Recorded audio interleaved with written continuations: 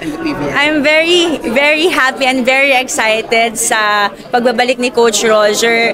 Not just because of the siguro exciting games na may ibibigay niya sa atin but definitely I'm happy sa mga players na magiging under him kasi for sure more than the skill set siguro mas matututunan din nila yung how to be a good and respectful uh, individual sa under Coach Roger. Gano'n mo na-miss yung feeling na makita siya across? Siyempre, ma- magaling Hindi ko na-miss. Hindi ko na-miss kasi definitely, if there's one coach din na mas kilala na ako more than ever, it would definitely Coach Roger. Hindi man sa tendencies ko, but definitely kung ano ako as a person ako sa loob ng, ng court. So, medyo mahirap mas kalaban yung mga ganitong klaseng coaches and uh, mga teams. But definitely, it's a challenge again for me and for the, the Cream 9 Cool Smashers on how we will be able to siguro improve ourselves, improve kami as a team. So, yeah, we're very excited this conference. 12 teams na ang PBL. Yes. Can, did you imagine seeing this kind of growth sa Liga when you started?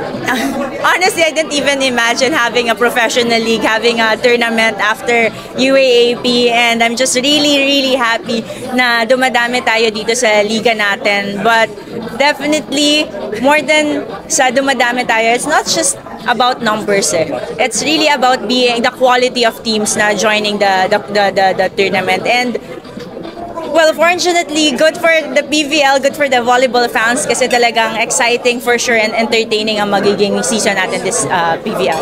Last season, record-breaking crowd. What kind of numbers do you expect this season na yun nga, dumami yung dumami yung teams at parang palaki ng palaki yung liga? Wow, what do I what do I expect?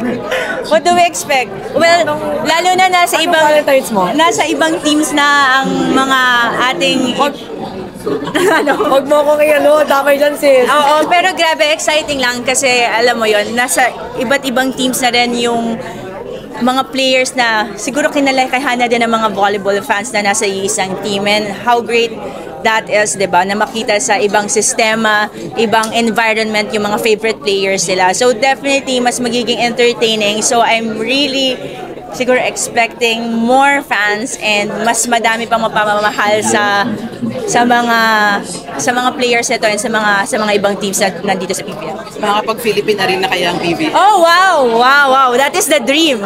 That is the dream, definitely. I think the dream is to share volleyball to all the Filipinos and I guess that's the one of the venues na mabibigay yan sa atin.